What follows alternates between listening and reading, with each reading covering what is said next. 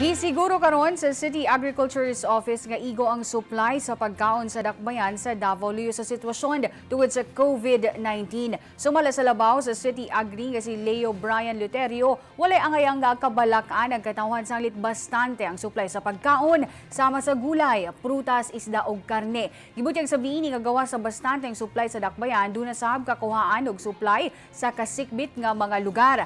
Aduna usab sila programa nga stay at home magtanom di na nagapanghatag sila og similya sa gulay aron nga itanom sa katawan sa ilang mga tugkaran.